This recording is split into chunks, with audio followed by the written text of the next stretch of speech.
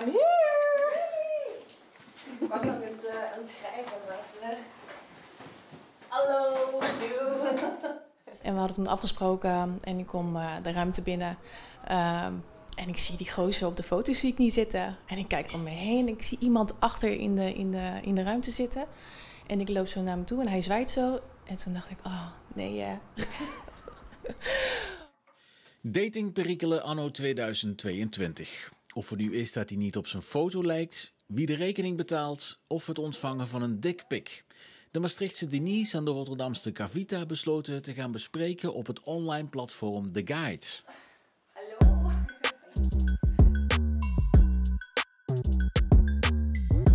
Wij kennen elkaar nu inmiddels 10, 11 jaar. Um, op een gegeven moment zijn we allebei single geworden, want we zaten allebei in een relatie. Ik ben nu 10 jaar single en jij bent volgens mij 7 jaar single.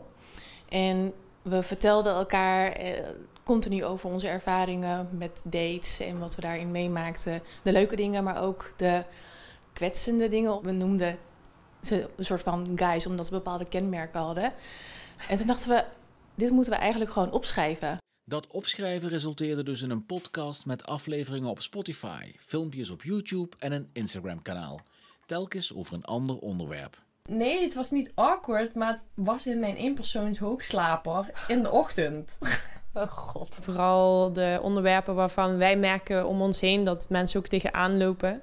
Onze, ja, de aflevering hiervoor ging bijvoorbeeld over de dickpic. Want jij hebt ooit een dickpic dan ontvangen? Ik heb meerdere keren dickpics ontvangen. Ik heb zelfs zeg maar met... Uh, ja, een, een, jongen die ik dan via zo'n dating-app uh, had, heel lang zitten appen. En op een gegeven moment kreeg ik echt gewoon filmpjes van zijn piemel. En hij die even demonstreerde wat hij er allemaal mee kon. Maar het ironische eraan was dat ik bedoel, ik ben niet direct vies van naakt, maar ik had dan zoiets van ja, kom hem dan ook even in het echt laten zien. Maar tot vier keer toe komt hij dan niet opdagen. En dan denk ik van ja, wat is dit dan? Is dat meer de tease? Is dat meer de fantasie?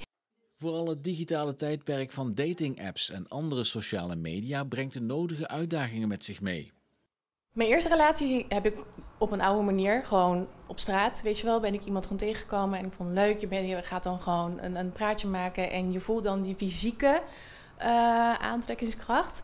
Uh, en ik merk wel, nog steeds trouwens, dat ik het best wel lastig vind om, om iemand via een app, weet je, het voelt gewoon niet natuurlijk voor me of zo. Van vroeger, ja, dan sprak je elkaar wanneer je elkaar sprak en dan had je eigenlijk, die hele digitale wereld was er nog niet. Dus ook had je een heel ander soort interpretatie van en, en verwachting van elkaar. Je kunt dus drie weken aan een stuk zijn aan het kletsen. En ineens is die persoon van de aardbodem verdwenen. En je dacht van, ja, maar hallo, we hebben wel best wel intieme dingen besproken. Maar het, ja, in, in hoeverre is iemand dan ook...